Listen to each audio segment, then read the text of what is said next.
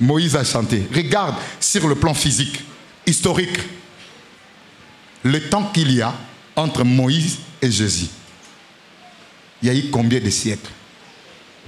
Et Jésus est venu, il a chanté. Le prophète Paul Dominique aussi a Voici dans, la première dans le premier couplet, la première partie, allez-je dire, ils vont dire L'Éternel est. Allons maintenant monter.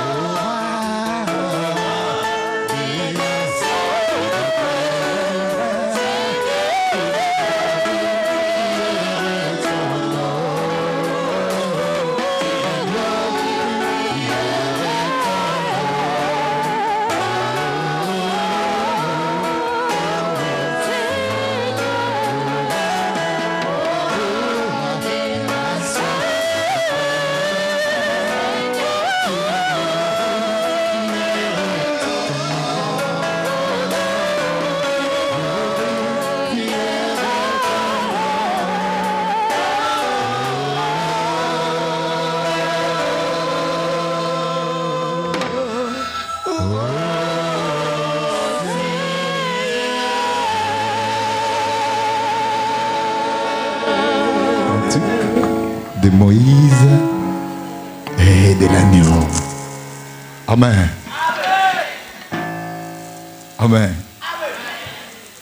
Vous avez compris?